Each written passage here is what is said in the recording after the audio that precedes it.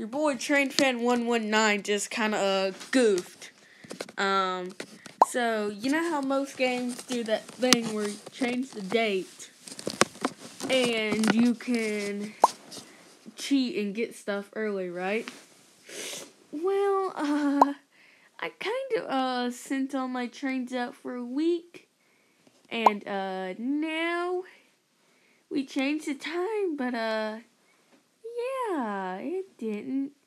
It didn't skip the time.